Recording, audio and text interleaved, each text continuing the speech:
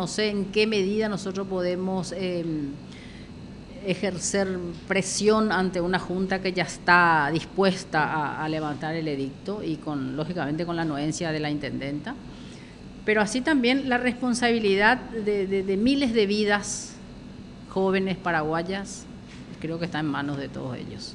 Lo que yo te puedo decir es que a partir de la restricción horaria eh, disminuyó en un 20% las muertes.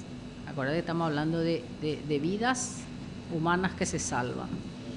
Y bueno, tenemos que ver ahora, a partir de ahora, qué pasa cuando se abran o se prolonguen, mejor dicho, los horarios.